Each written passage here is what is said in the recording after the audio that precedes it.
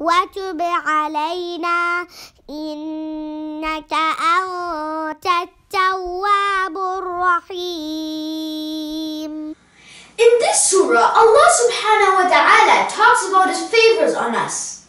First, He talks about the most important favor, the Quran. Then Allah subhanahu wa ta'ala talks about the worldly gifts like oceans, pearls, ships, etc.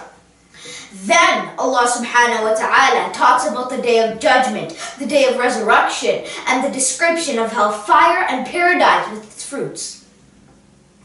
This surah is the most beautiful surah of the Quran with the most repeated verse. And which of the favors, wonders, and gifts of your Lord will you deny? In this surah, Allah subhanahu wa ta'ala does something very unique. He addresses both human beings and jinns And throughout this whole surah, everything is in pairs. Let us enjoy this surah in which Allah subhanahu wa ta'ala repeats this verse over and over. فَبِأَيِّ آلَاءِ رَبِّكُمَا تُكَذِّبَانِ أعوذ بالله من الشيطان الرجيم بسم الله الرحمن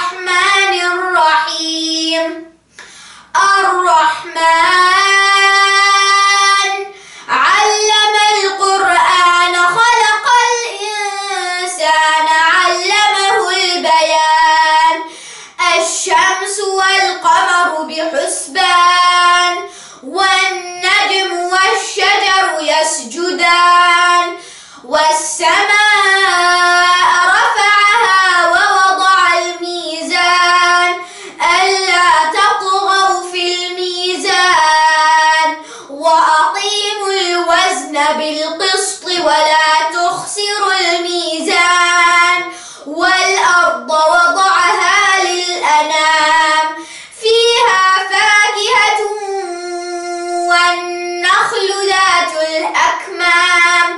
what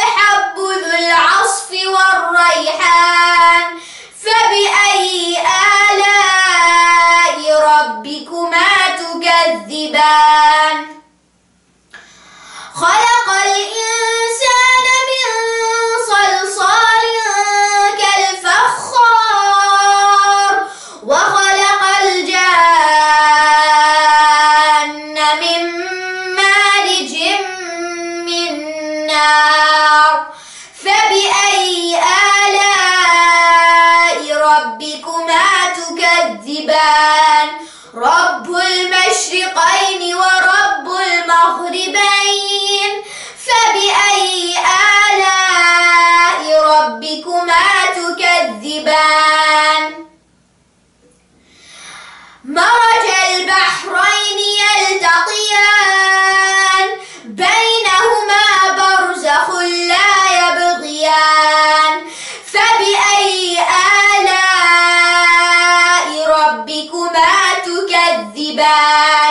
يخرج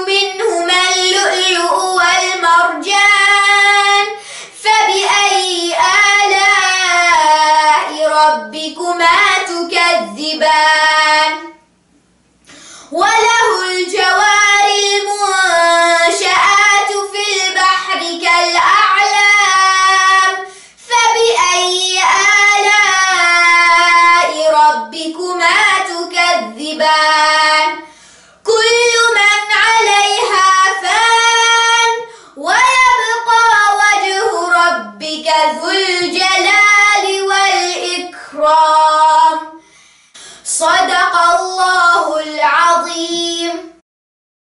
ربنا تقبل منا إنك أنت السميع العليم.